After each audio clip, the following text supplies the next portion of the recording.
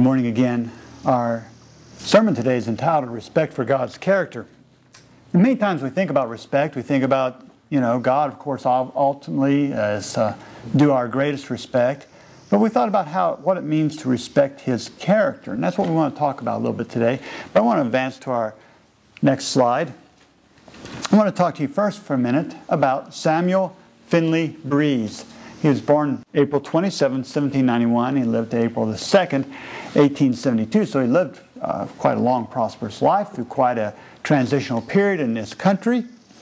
And he became a painter. He was a very good painter. In fact, he was a portrait painter, especially. He painted, for instance, the portrait of John Adams. Maybe you've seen this picture of President John Adams, our second president. Uh, he did his own self portrait. You may not recognize his self portrait, but uh, he did himself. In fact, in 1825, the city of New York commissioned him to paint a portrait. They wanted to do a picture of Lafayette. And so Lafayette was visiting Washington, D.C. at that time. But before Samuel painted, began to paint Lafayette's picture, in fact, seven years before, he had married Lucretia Pickering Walker on September the 29th of 1818. And in the time that they had been married, she had uh, given him three children. In fact, she had just born their third child as he was painting Lafayette's picture. Marquise de Lafayette. That's what I wanted to say earlier. Marquise de Lafayette. But while painting, a messenger on horseback delivered a letter from his father, and the letter simply read, Your dear wife is convalescent. Now, what would that mean? She's sick. She's sick. And the next day he received another letter from his father detailing his wife's sudden death. Samuel left painting Lafayette and he immediately returned to New Haven, where he lived at that time. And he was brokenhearted. His wife had already been buried by the time he arrived. And for days, he realized that he had been unaware of her failing health, unaware of her death, and he decided to explore a means of rapid, long-term, or excuse me, rapid, long-distance communication so that this need not happen again. And so Samuel, Samuel Finley Breese Morse, invented what we call the telegraph and, and, and a system of dots and dashes whereby messages could be sent. We know it as Morse code today. But what's interesting is that the very first message that Samuel Morse sent with his telegraph was, What hath God wrought? What hath God wrought? By this simple act, Morse showed respect and honor to God and his character as a benevolent individual. Beloved, I believe that God's revelation of himself calls for deference, for honor, and a response to right living. Because we are to respect his holy name. Now, this week, some of you who've been around me, you know I've been speaking about the Psalms. Some. I've been reading through the Psalms again, and I came to Psalm 29 in my Bible. I'd like for you to turn to Psalm 29 in your Bible, too. And there's a verse here that is so beautiful. Uh, I'd encourage you all to read the book of Psalms again. It's a really good book. And I especially like the 29th Psalm now more than I've ever appreciated it before. This is the, the Psalm of the thunderstorm. Sometimes it's been called the Psalm of the seven thunders. And, and, and, tradition says it was sung on the last day of the Feast of the Tabernacles uh, in the Second Temple after the temple worship was restored when the exiles came back. But I want you to notice verse 2. It says, Give unto the Lord the glory due unto his name. Worship the Lord in the beauty of holiness. There is a glory that is due to the name of God. But, friends, it's not just simply talking about the name, something that we enunciate. It's speaking about the character of God. We need to give glory to the character of God. You know, in, in, the commandments, in Exodus chapter 20, verse 7, it says that we are not to take the name of the Lord thy God in vain. And we realize that this means that we're literally not to use his name in a flippant or a casual way. But I think it also means, friends, that we are not to deface the character of God by our actions and through the things that we do. We are, we are to, to honor God's name. And we can't do that, friends, when we are serving false gods. False gods that teach us something incorrect about the character of God or teach us something antithesis to the character of God. Notice an, an example in Leviticus 18, for instance. Leviticus 18:21. It says, Thou shalt not let any of thy seed pass through the fire to Moloch, neither shalt thou profane the name of thy God. I am the Lord. In fact, this, um, this reference we just read can also be translated this way. Leviticus 18:21 in the ESV says, "You shall not give any of your children to offer them to Moloch, and so profane the name of your God. I am the Lord." Because as you read it in the King James, uh, it says, "Neither shalt thou profane the name." It's, it's almost like it could be two different things, but according to the Hebrew, really it's, it's connected together. It's connected together. This concept of offering your children to Moloch is connected to profaning the, the name of the Lord. Now, did you notice it said that they weren't to let their children pass the far to Moloch? Because by doing this, they would profane the name of the Lord. They would profane his character. Because God wasn't like this God Moloch. And many times the children of Israel, they would intermingle the worship of Moloch and the worship of Baal with the worship of Jehovah. And it became confusing to people, and people thought they were worshiping Jehovah, and, and yet they were following the services of worshiping Moloch or Baal. And we see this today, friends. We see this today in the Christian's experience, in the professed Christian world's experience. There is a teaching that denies that Jesus is the Son of God. And by doing that, it denies that God is the Father of Jesus Christ. And by doing that, it also denies, friends, the verity of John chapter 3, verse 16. That there is a God who loved us so much that he gave his only begotten Son. But of course, if God has no Son, how do we prove His love? The, the, uh, the writer John, in his fourth, uh, first epistle and fourth chapter, he says that herein is the love of God manifested by the fact that God gave His only begotten Son. And so we don't want to take God's name in vain through the teaching of false things about His character. Let's turn to Leviticus 22. Leviticus 22 in verse 31. Therefore shall ye keep my commandments and do them, I am the Lord. Neither shall ye profane my holy name, but I will be hallowed among the children of Israel. I am the Lord which hallow you, that brought you out of the land of Egypt to be your God. I am the Lord. And now notice the connector between verses 31 and 32 is that word neither again. But you know, sometimes in English that can set off different things. But if we again look at another translation in our next verse, it says, So shall you keep my commandments and do them. I am the Lord, and you shall not profane my holy name, that I may be sanctified among the people of Israel. And so this, this is really a connected thought. That when we are walking in disobedience, friends, we are profaning the name, the character of God. As I mentioned in our synopsis, that God's revelation of himself calls for deference and honor and a response a response of right living because, friends, God's Word always calls for a response. It calls for action in our lives. Going on to our next slide, we have a statement here. This is a little long statement, but I want to share it with you. It's from Thoughts from the Mount of Blessing. And it says this To hallow the name of the Lord requires that the words in which we speak of the Supreme Being be uttered with reverence. Holy and reverent is His name. Psalms 111, verse 9. We are never in any manner to treat lightly the titles or appellations of the deity. In prayer, we enter the audience chamber of the Most High, and we should come before Him with holy awe.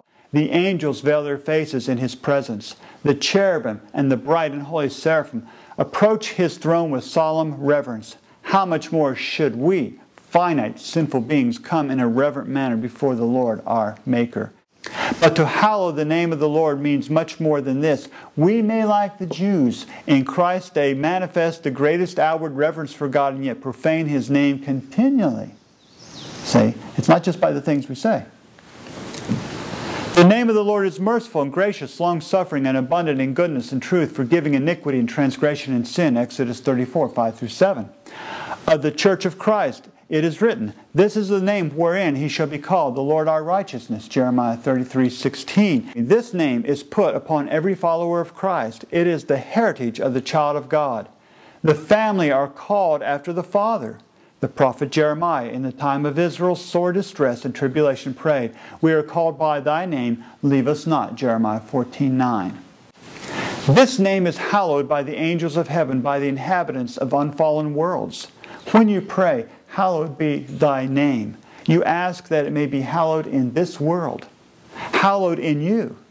God has acknowledged you before men and angels as his children. Pray that you may do no dishonor to the worthy name by which ye are called. James 2 7. God sends you into the world as his representative. In every act of life, you are to make manifest the name of God. This petition calls upon you to possess His character. You cannot hallow His name. You cannot represent Him to the world unless in life and character you represent the very life and character of God. This you can only do through the acceptance of the grace and righteousness of Christ. Thy kingdom come, Matthew 6:10 Thoughts from the Mount of Blessings, pages 106 and 107. Now, notice in the last part of this quotation that we read from, in this last slide, it says, This petition calls upon you to possess His character. His character. And we're talking at, at mean about perfection of character soon to come. But what that means is that we have the character of God. Perfection of human character means to obtain the character of God. And friends, we should respect to the character of God. We are to show respect to God's very presence. When we come into this sanctuary, for example, do we come in here in a way different than we come into other rooms, into other buildings? Do we talk differently here? Do we act differently? And if we don't, then one of two things is either wrong. either the presence of God is not here, friends, or we don't recognize the presence of God. Because when people recognize the presence of God, friends, they act differently. Did you notice that? Anywhere you read in the Bible where, where there's some kind of a theophany or a, a manifestation of God's presence, people act differently. And God commands them to. Turn with me to Exodus chapter 3. Exodus chapter 3, verses 5 and 6. This is the story of Moses at the burning bush. And he said, Draw not nigh thither, put off thy shoes from off thy feet, for the ground whereon thou standest is holy ground. Moreover, he said, I am the God of thy father, the God of Abraham, the God of Isaac, and the God of Jacob. And Moses hid his face, for he was afraid to look upon God. Friends, in the very presence of God, there is a holy awe. When Isaiah in vision saw the Lord of hosts, he says, I am undone. I am as a man of unclean lips. In Exodus chapter 20, we have the Ten Commandments. But notice what we have also in verses 18 through 22. Exodus 18 through 22. It says, And all the people saw the thunderings and the lightnings and the noise of the trumpet and the mountain smoking. And when the people saw it, they removed and stood afar off. And they said unto Moses, Speak thou with us, and we will hear. But let not God speak with us, lest we die. And Moses said unto the people, Fear not, for God is come to prove you, and that his fear may be before your faces, that ye sin not. And the people stood afar off. And Moses drew near unto the thick darkness where God was. And the Lord said unto Moses, Thus shall ye say unto the children of Israel, Ye have seen what I have talked with you from heaven. And these people, when God came from heaven to talk to them, were afraid, and they backed off. They weren't ready for that majesty of God, and Moses was, was learning. Moses was experiencing the character of God to where he could approach God now in the book The Spirit of Prophecy, Volume 1, on page 237, we read these words. The majestic presence of God at Sinai and the commotions in the earth occasioned by his presence, the fearful thunderings and lightnings which accompanied this visitation of God, so impressed the minds of the people with fear and reverence to his sacred majesty that they instinctively drew back from the awful presence of God, lest they should not be able to endure his terrible glory. Get that. It says they instinctively drew back. That's what God's presence does to humanity, friends. It's so majestic, so wonderful, so grand. In Psalms 89 and verse 7, it says, God is greatly to be feared in the assembly of the saints and to be had in reverence of all them that are about him. Now, I know many times we read this word fear in the Bible and we're very quick to say, well, you know, that means reverence, right? But, friends, it doesn't always mean just simply reverence. It means to have a holy fear. It means to have a holy fear. Because here it's, it's linked with reverence, something separate from just reverence. You are, you are afraid to hurt his character. You are afraid to speak ill against him or to live in a way that violates him. The, the, the, uh, in our next slide, the Hebrew word is uh, aratz, and it means to cause to tremble, to stand in awe.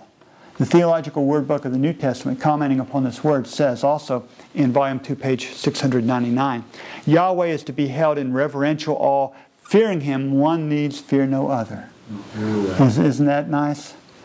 In other words, if we can fear God, we don't need to fear anyone else. It is said that John the Baptist could kneel, or could stand erect, rather, he could stand erect in front of kings and nobles because he had bowed low before the King of Kings and the Lord of Lords. I believe, friends, that we should have respect also for God's Word, the Bible. Respect for the Bible. Deuteronomy chapter 4. And how do we have respect for the Bible? There's a lot of ways, but I want to point out one specific way. Deuteronomy chapter 4. Because, friends, you can't separate God from His Word.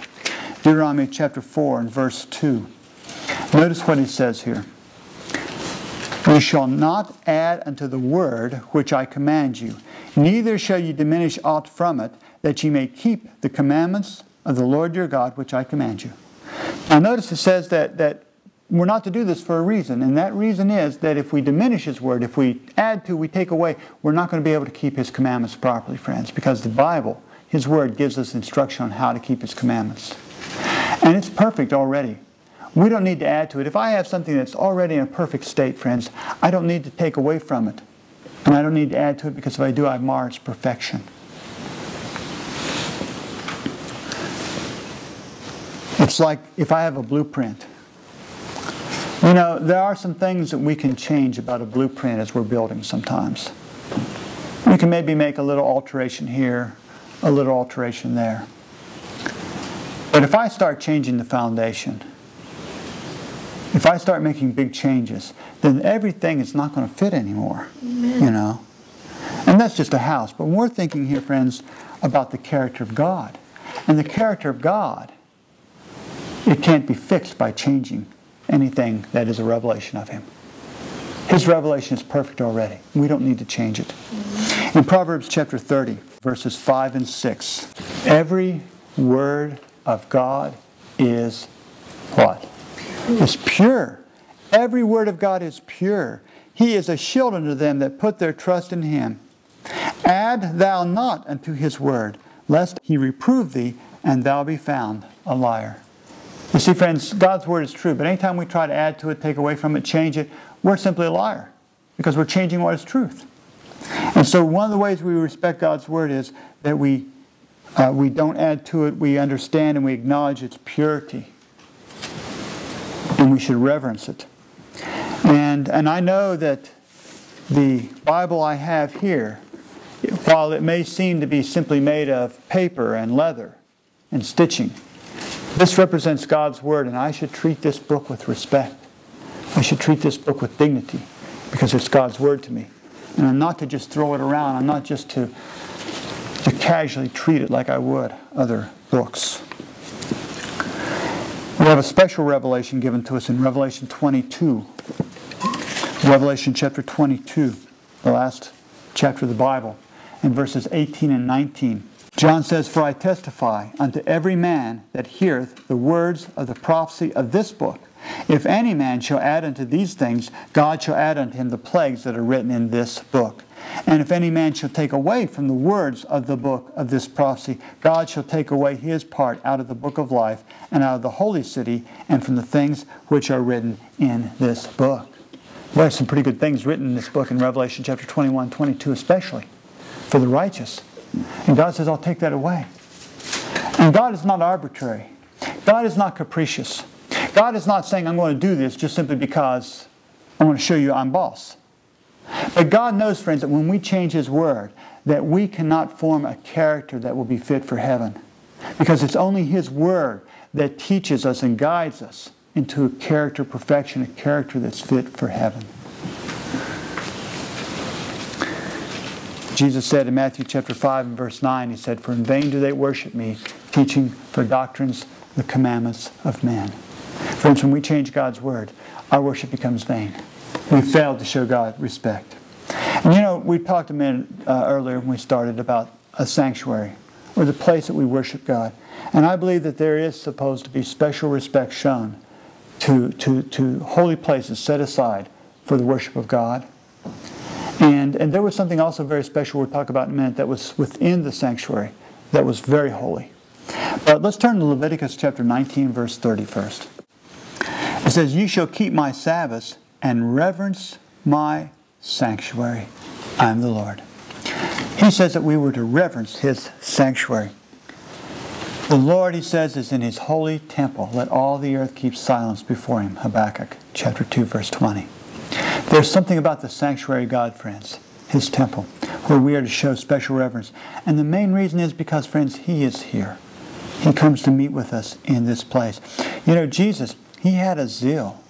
He had a zeal even for the, the, the earthly tab- tab- tabernacle, that temple that had been made with hands. In John chapter 2, verses 13 through 17, it says, And the Jews' Passover was at hand, and Jesus went up to Jerusalem and found in the temple those that sold oxen and sheep and doves and the changers of money sitting. And when he had made a scourge of small cords, he drove them out of the temple and the sheep and the oxen and poured out the changers' money and overthrew the tables. Boy, I tell you, he sounded like a, a rebel and a vigilante, didn't he? This was a man of action. And he said unto them that sold doves, Take these things hence. Make, make not my father's house an house of merchandise. And his disciples remembered that it was written, The zeal of thine house hath eaten me up. And that was a quotation from Psalm 69, I believe, verse 9. It says, The zeal, the zeal of thy house hath eaten me up. In other words, it has consumed me. And so he was interested in the sanctuary. But within the sanctuary, within the temple, actually, it wasn't in the temple at that time, but before this, there had been something in the most holy place. And what was that article of furniture in the most holy place? It was the Ark of the Covenant, and it was considered sacred. And the children of Israel believed that it carried the presence and the power of God. And they believed that so much so that sometimes when they went out to battle, they took the ark out into battle with them, believing that it had some kind of a power about it that would give them victory. But one time they took it out when they shouldn't have taken it out, and the Philistines captured the ark. And do you remember what happened when some of the Philistines ventured to look upon the sacred ark of God? Let's turn to 1 Samuel chapter 6 and let's read it. 1 Samuel chapter 6, verses 19 and 20. And he, that is God, smote the men of Bethshemesh because they had looked unto the ark of the Lord. Even he smote of the people fifty thousand and threescore and ten men, and the people lamented because the Lord had smitten many of the people with a great slaughter. And the men of Bethshemesh said, Who is able to stand before this holy Lord God, and to whom shall he go up for us? And so, friends, just to look upon that ark was the look of death. There was a man whose name was Uzzah. And he reached out to study the ark one time. David was moving the ark. And instead of carrying it upon the shoulders of the Levites as they were supposed to, they made a new cart. You know, it become modern. And they were moving it, and it must have hit a rut or a place in, in, the, in the pathway, and it began to shake, and Uzzah was afraid it was going to move or fall off. And he put forth his hand to touch it. And that touch was the touch of death. Amen. You can read about it in 1 Samuel chapter 6, verses 1 through 7. But in Testimonies for the Church, volume 8, page 284, again consider the judgment that fell upon Uzzah. As in David's reign, the ark was being carried to Jerusalem. Uzzah put forth his hand to keep it steady. For presuming to touch the symbol of God's presence, he was smitten with instant death. So, do you think, friends, that the symbol of God's presence was a light thing? Or was it a pretty heavy thing? It was a pretty important thing, wasn't it? When we come before the presence of God, friends, in His sanctuary, we should come with a holy awe.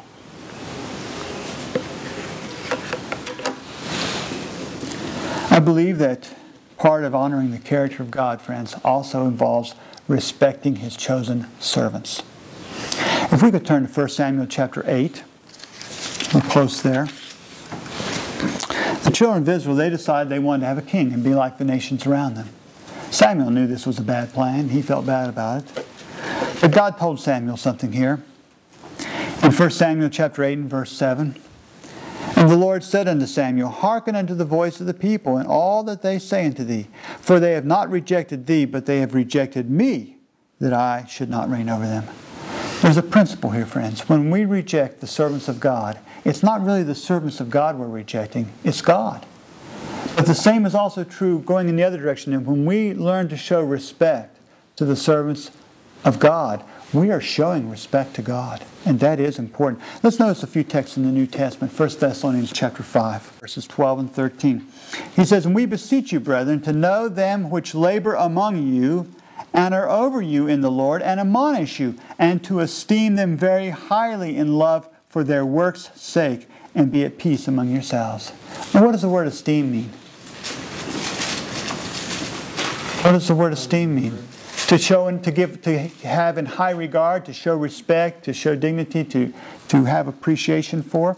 In 1 timothy chapter 5 and verse 17 he says let the elders that rule well be counted worthy of double honor.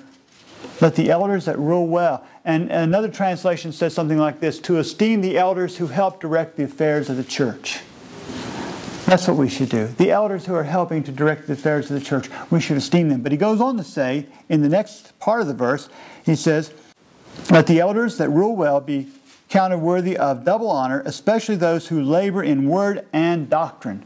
So you've got men who are preaching, and they're preaching the word, and they're preaching doctrine. And uh, that's Brother Fred Scuzzi there. We hope to have Fred at the camp meeting this year. Uh, when they're preaching that word of doctrine, friends, we should doubly esteem these kind of men and show them respect and honor. That's what God's Word says. So I ask now, what is the purpose of all this respect? I mean, really, what does it come down to? And I think we mentioned it earlier, but let's recap it. Respect for God, respect for His name, respect for His Word, respect for His sanctuary, respect for all that is involved. It leads to godly living. And that's what God wants from us most of all. It leads to godly living. In Exodus chapter 20, if we could go back there and just reread a verse again. Exodus chapter 20 and verse 20. And Moses said unto the people, Fear not, for God is come to prove you, and that his fear may be before your faces, that. That means because of something, that ye sin not.